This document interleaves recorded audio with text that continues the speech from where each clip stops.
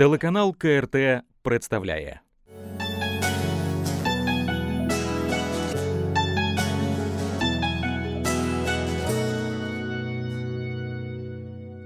Впервые я открыл для себя этого музыканта на одном из киевских городских мероприятий, в которых я тоже когда-то участвовал. Это был концерт, посвященный очередному празднику. Но вряд ли бы он остался в моей памяти, если бы не выступление артиста с цыганским именем Джанго. Нем было столько экспрессии, искренности и сакральной глубины, что казалось, что он не поет свои песни, а проживает их прямо на сцене. Это резко выделяло его среди безликой массы попсы хотя имя исполнителя тогда еще было мало кому известно.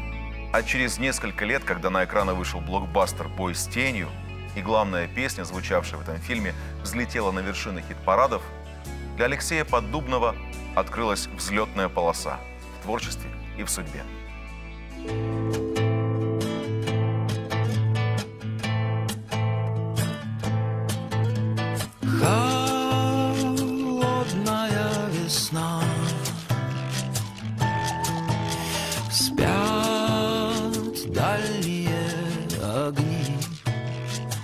Алексей Поддубный, более известен под псевдонимом Джанго, музыкант, композитор, исполнитель и фронтмен одноименной группы. Известен также как композитор и аранжировщик, сотрудничавший с украинскими и российскими звездами Ани Лорак, Микой Ньютон, Аленой Апиной. Работает в жанре поп-музыки с элементами рока и фолка. Родился и вырос и почти всю свою сознательную жизнь провел в Киеве. Там же получил музыкальное образование по классу классической гитары, впоследствии самостоятельно освоил игру на аккордеоне и клавишных. С 12 лет увлекся рок-музыкой, в частности группой Pink Floyd. Примерно в это же время начал писать собственные песни на английском языке, но позже отдал предпочтение русскому. Прозвище Джанго, что в переводе с цыганского означает «я проснулся», Алексей Поддубный получил во время армейской службы, где каждую свободную минуту использовал для занятий музыкой. После отбоя он часто уединялся с гитарой и исполнял джазовые композиции знаменитого бельгийского музыканта с цыганскими корнями Джанго Рейнхарта. Сам же артист, вопреки слухам, никакого отношения к кочующему племени не имеет, хотя ему близка цыганская эстетика в музыке и любовь к свободе.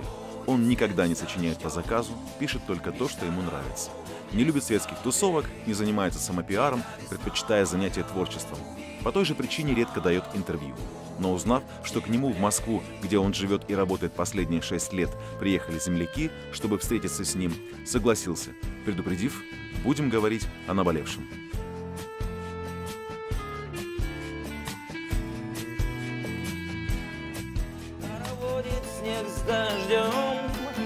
Мечта дорогу мне согреет. Тебя весна моя увидеть надо будет теплее.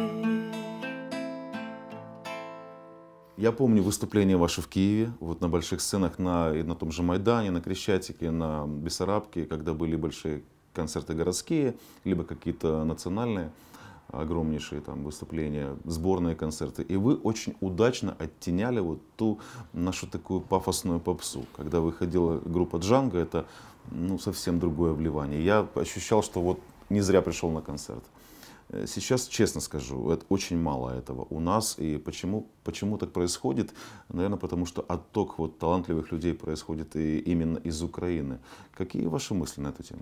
Во-первых, э, я бы начал с того, что вот спасибо, во-первых, за теплые слова и отзыв о, о творчестве. Хотя зачастую, выходя на эти большие сцены в Киеве, у меня было такое, э, вот когда я выходил, вернее, туда, я, у меня было ощущение, что это не совсем то, что нужно. То есть это не совсем то, что как раз народ и ждал.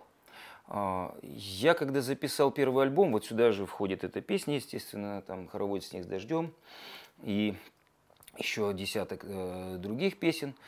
Там была песня «Метель», например, «Непроглядная метель», «Одинокая постель», «Сны играют душами непослушными». Понимаете, вот представьте себе вот попсу киевскую и эти слова. Я очень помню, как- То какая есть- была разница, какой контраст между исполнителями происходил. И да. дело даже, понимаете, здесь мы окунаемся уже в такие вещи, как э, некий запрос. некий запрос. То есть у кого-то в душе, очевидно, был э, запрос на, на такие слова, и на тот же хороводец «Снег с дождем» и так далее. Про, это, с этой песней тоже интересная история связана. Она была запи- написана и записана где-то за год до того, как она попала в фильм «Бой с тенью» московский. И началось ее, так сказать, триумфальное шествие по э, всему э, СНГ и, и, и, и Брайтон-Бичу, там, условно говоря. Да? А, До этого я ходил и носил эту песню, готовую уже, в таком виде, которую все потом услышали через год по всем киевским радиостанциям. И что И происходило? что ее не брали. Даже так? Ну да.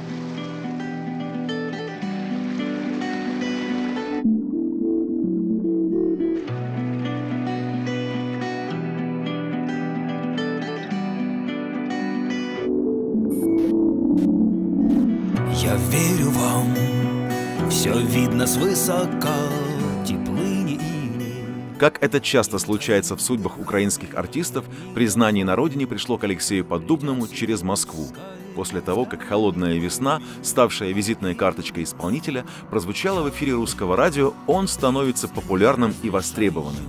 Его песни бьют рекорды по ротациям на украинских и российских радиостанциях, звучат в саундтреках к популярным фильмам. Группа «Джанго» активно гастролирует по просторам СНГ. В 2005 году издает свой первый альбом и вскоре подписывает контракты с представителями крупнейших мировых звукозаписывающих компаний Universal Music Group в Украине и Real Records в России.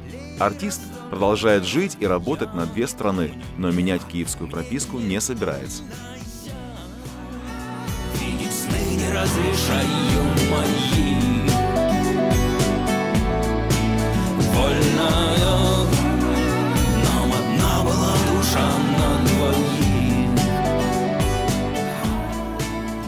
Я э, в Москве пробовал жить много раз. По полгода, по году, по месяцу, по два месяца. Тяжело. Я знаю, что вы служили в Москве. Да, я служил. Ну вот если считать, если считать мою московскую службу в армии, то в общей сложности в Москве я прожил э, года три, э, четыре, может быть, до 2013 Ну, и с 2013 по 2019 уже 6 лет. То есть считайте, что я 10 лет уже. Когда солдат советской армии Алексей Поддубный шел в составе духового оркестра на параде по главной площади великой страны, он не знал, что очень скоро не станет страны, и в Украине произойдут такие события, после которых ему придется покинуть Киев и начинать новую жизнь в Москве.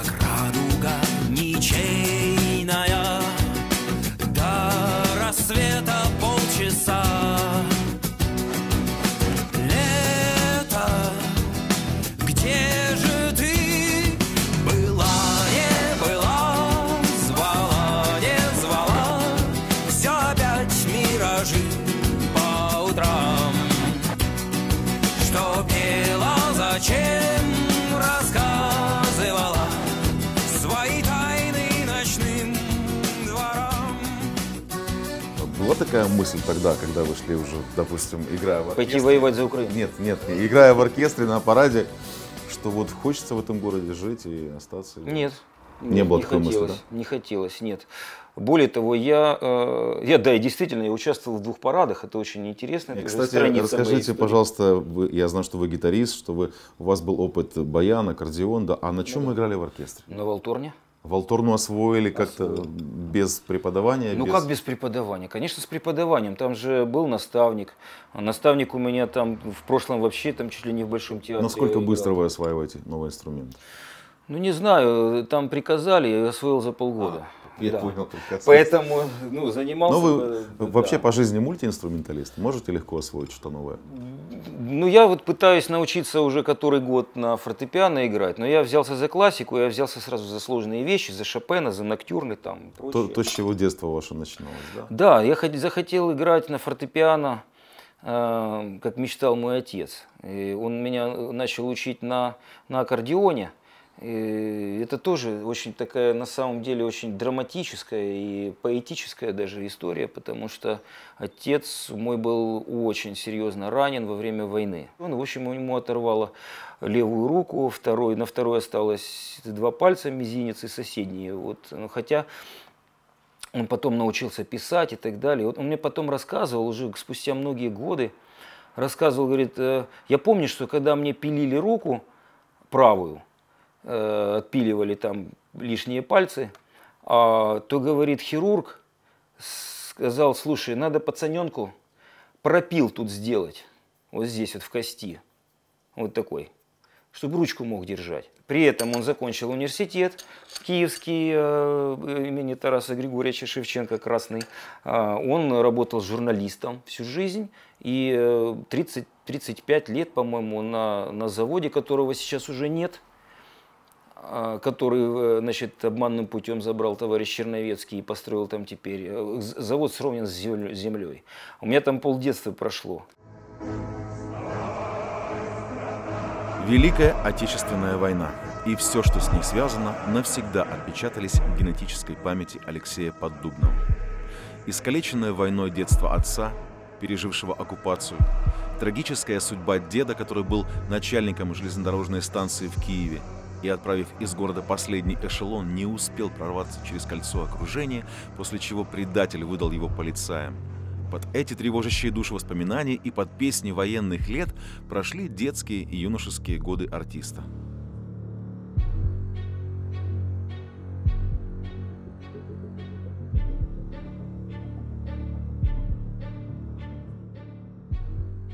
Естественно, как и все мальчишки тогда, мечтал играть на аккордеоне, потому что в 45 году возвращались наши, значит, там на крышах. Самый солдаты победный с инструмент был, С да, итальянскими аккордеонами, с э, немецкими аккордеонами и так далее.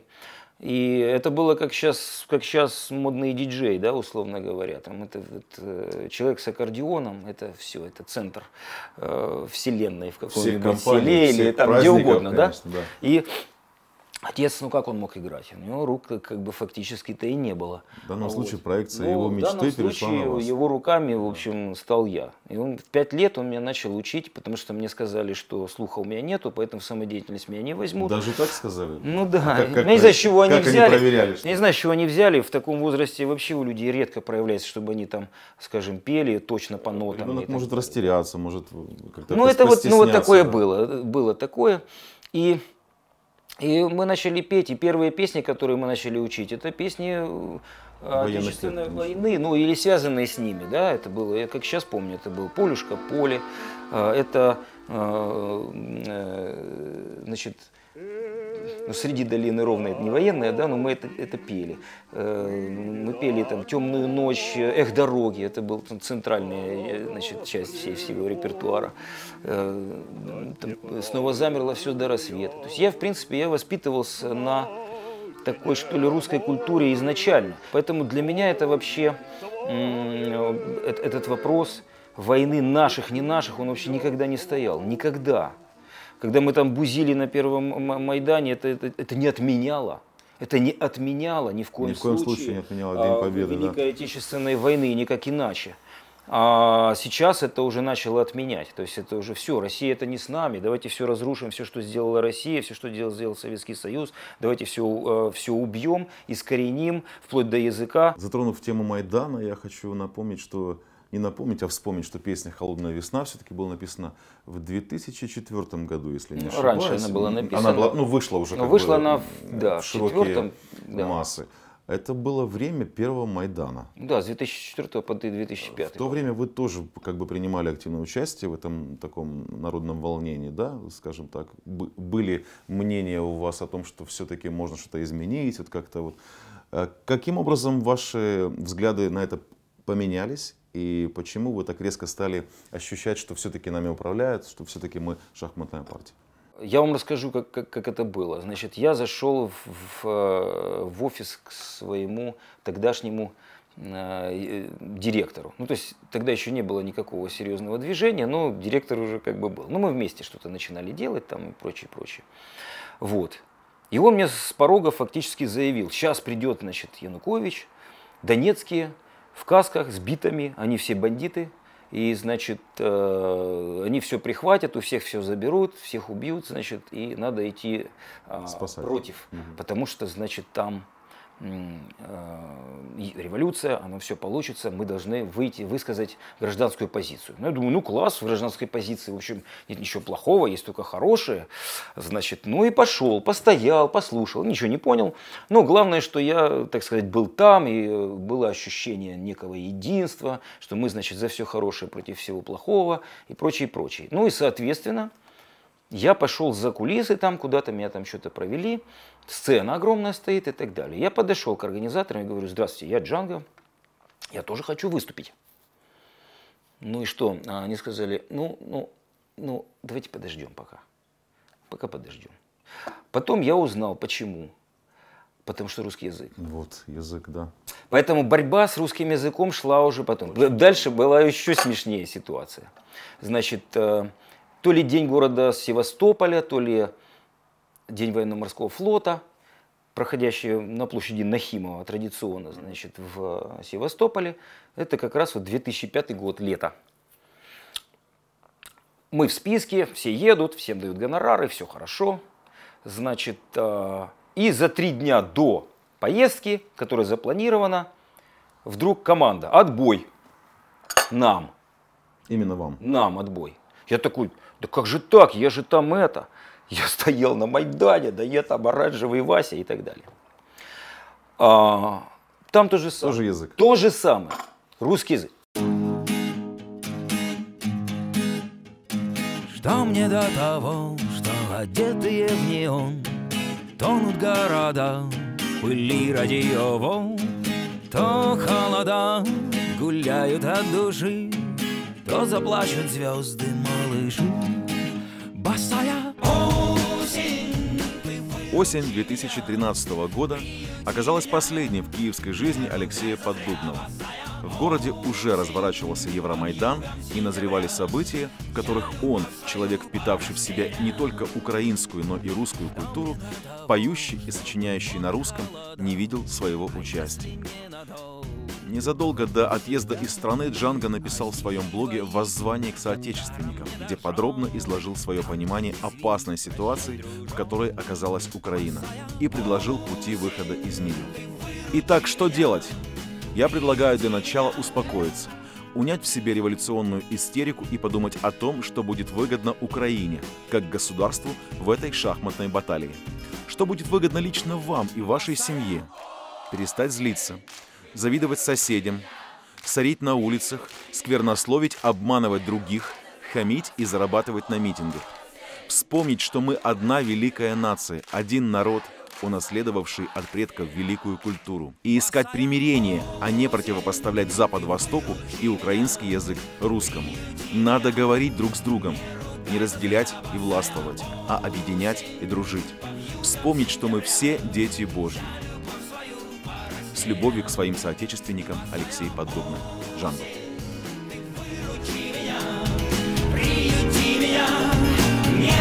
Порастерял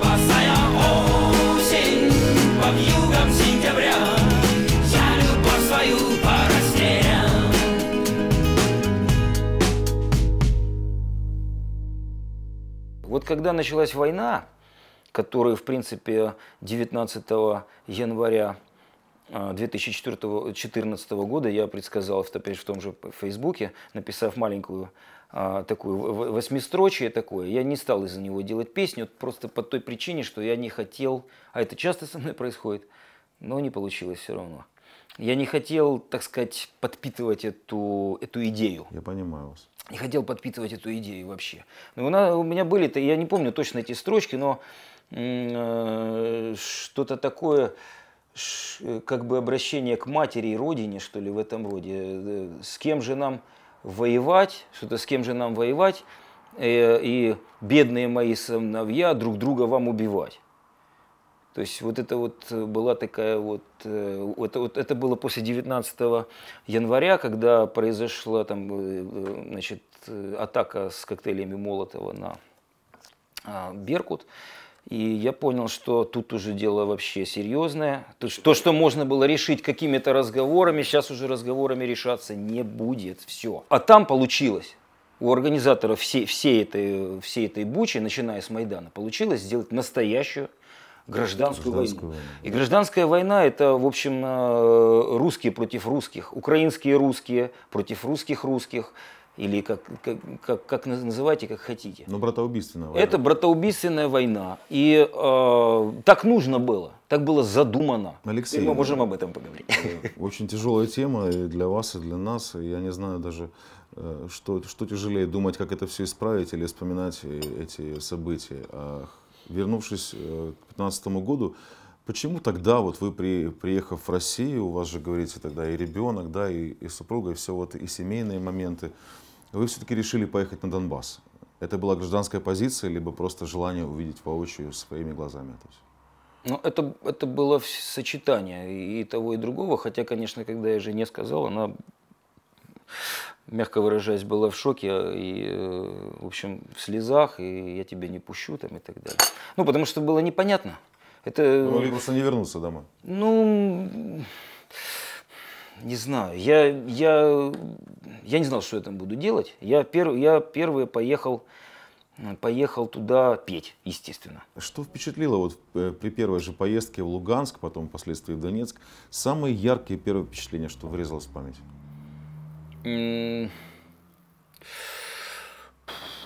Ну, врезалась в память, конечно, когда, когда вы заезжаете в город и э, вам показывают, вот попадание, значит, вот там снаряд попал, значит, стена, дырка, э, пол дома сгорело, здесь крыш, в крышу попали, здесь этот самый, здесь град попал, значит, здесь выкосило все, все эти самые. А что такое град? Ну, э, я тоже как бы знал чисто теоретически, а вообще-то это такая, это страшнейшая вещь, э, которая вообще людям вот в поле, в чистом, она не оставляет шансов вообще для выживания вообще, даже если вы в землю зароетесь. И там был кадр, который у меня даже он где-то есть в телефоне, э, значит, посеченный забор в дырках, это, это не пули, Э, это оскол- осколки. Осколки града. Э, Такое ощущение, как будто забор из жести, достаточно толстый, он какой-то бумажный. То есть вот, вот, вот, такое вот ощущение. спастись и, и- и на дереве вот тут рядышком висит, э, висело детские качельки. То есть вот их просто оставили. Так, такой для, для ребеночка качельки, э, креслице такое желтенькое.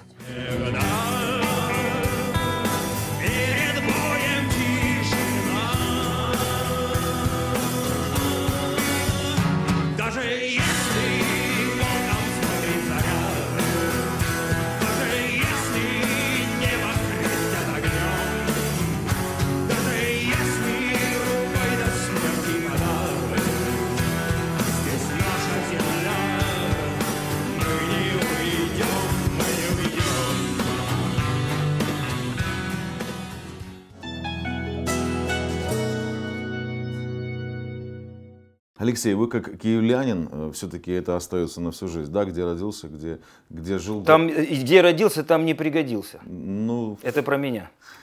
перефразируя, да. Но, но все-таки, да, вот как киевлянин, э, спрошу у вас, э, как вы видите, вот, э, возможно ли между нашими народами все-таки вернуть ощущение вот этого единства, братства и нежелания, э, там, вот как у нас, да, допустим, э, поклепа, э, нежелание от единения, абсолютно абстрагирования от всего культурного слоя, да, и народного слоя, и культурного, и традиционного всего, что нас соединяло. Как это вернуть? Ну, я думаю, что речь идет здесь, во-первых, о, о многих э, годах и, я бы э, сказал, десятилетиях.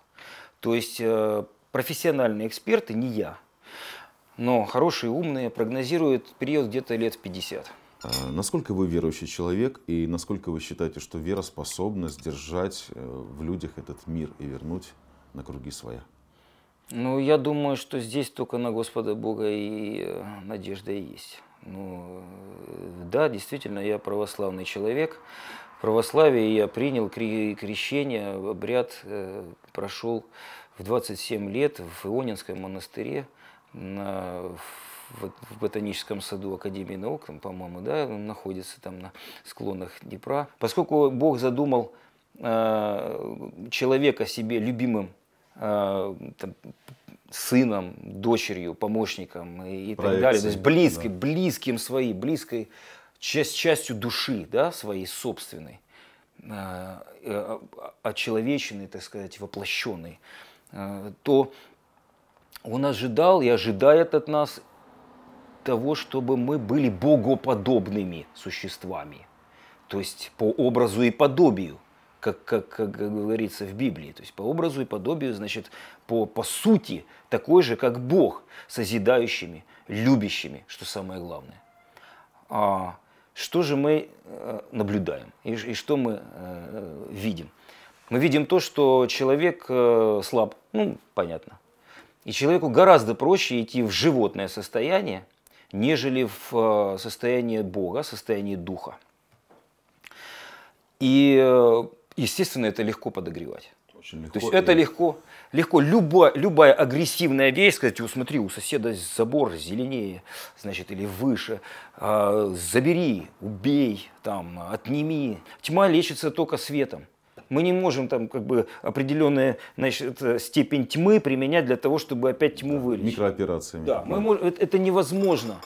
Когда этот свет будет, он поселится, знаете, как вот, например, там зажигаются огоньки, там, одни, второе, 10, 20, 100, 100 тысяч, миллион, 50 миллионов, 100 миллионов огоньков, вот так будет, знаете, как И растут, океан. растут, Океан. растут, Это в каком-то очень хорошем советском мультфильме было очень красиво, про светлячков, по-моему, Вот посмотрите, там, когда разгорается вот это ам, море такое, да, вот это, дух- это, это- разгорание духовного, ду- духовного огня, Христова, там, ну как хотите, да, духовного огня внутри, в сердцах каждого человека. И когда это станет очевидным, то, то действительно тогда будет не- не- непонятно, как, как мы можем э, воевать, как, как э, убивать друг друга, зачем, когда мы можем все это э, ликвидировать, и мы знаем как, да, то есть э, рецепты Откроются уже- глаза просто. Откроются глаза, глаза откроются у многих. почему-то они закрыты у некоторых, у многих людей. И Ну, это удивляет. У многих для этого есть... э, Кто-то либо просто не понимает, что происходит. Это большинство людей. там, Кто-то погряз 90%. материально А кто-то в этом конкретно заинтересован. Заинтересован, да.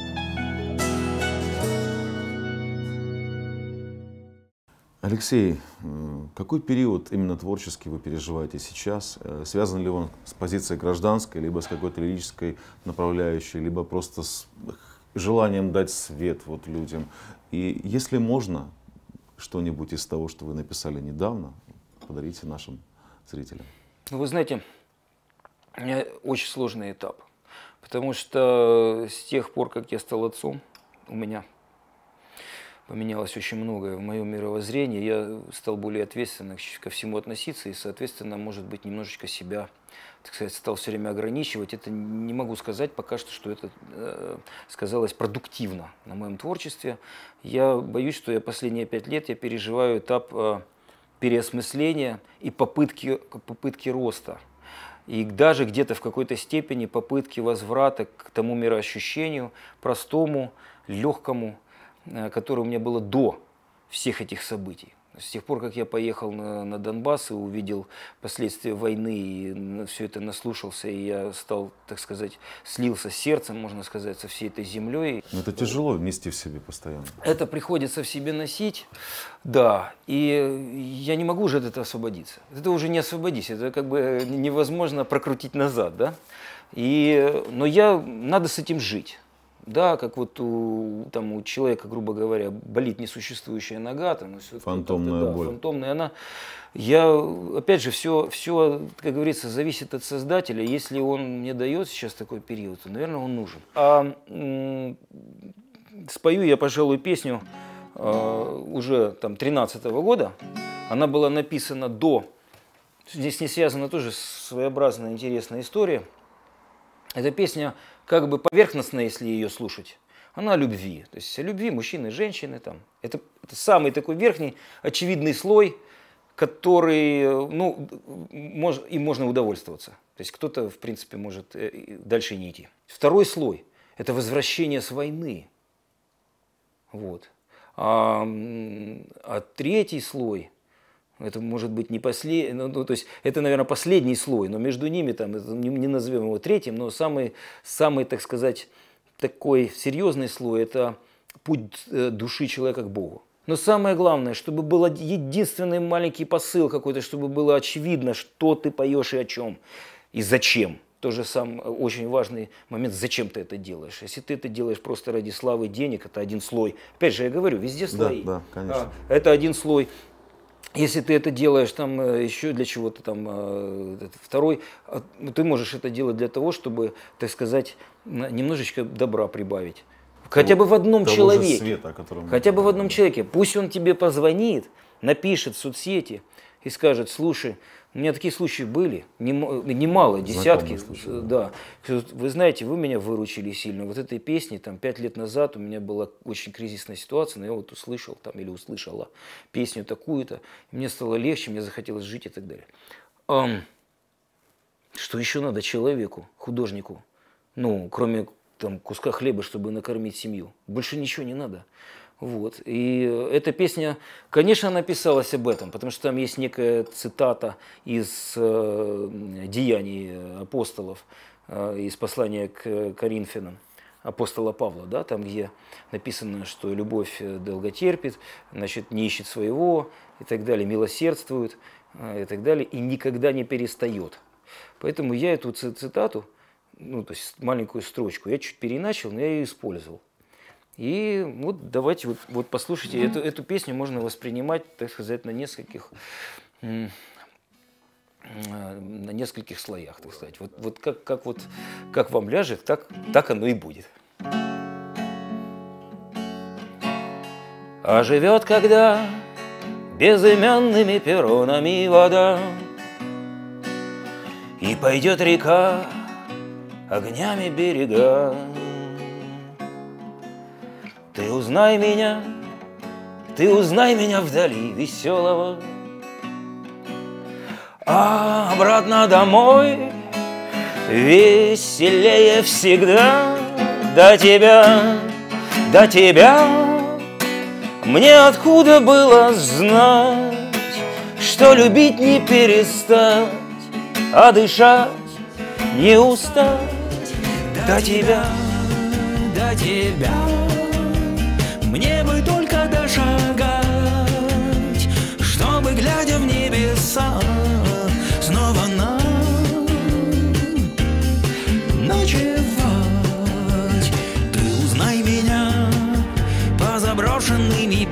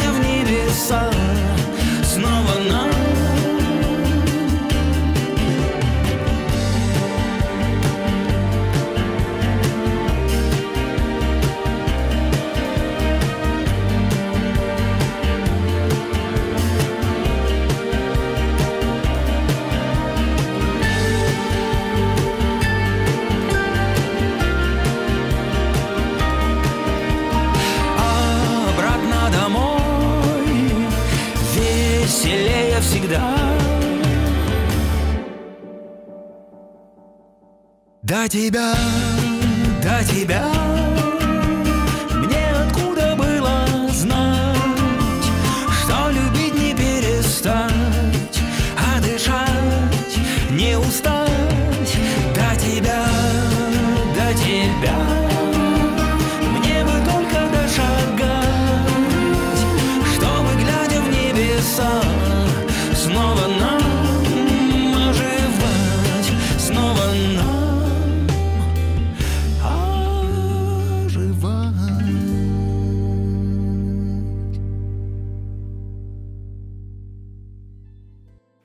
прощались с Алексеем Поддубным, он сказал, что мечтает написать такую песню, которую можно было бы исполнять без сопровождения какого-либо музыкального инструмента, чтобы люди могли собраться за общим столом и петь ее вместе.